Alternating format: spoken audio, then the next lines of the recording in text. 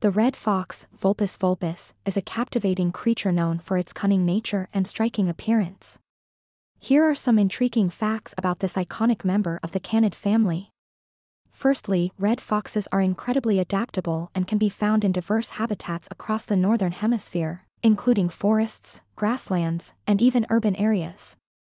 Secondly, their famously bushy tails, known as brushes, serve multiple purposes, such as providing balance, warmth, and communication signals.